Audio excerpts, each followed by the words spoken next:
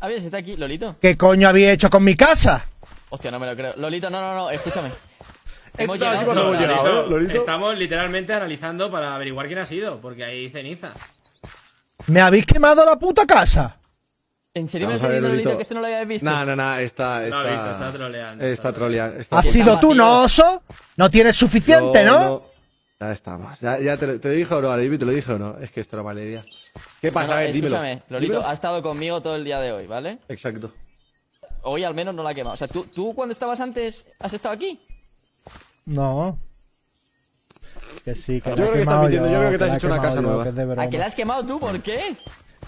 Porque me la hizo Vegeta para hacerse el buena persona y después me pegó. No quiero nada de él. Es verdad, es Eso es verdad. verdad, ¿eh? Es Eso es verdad.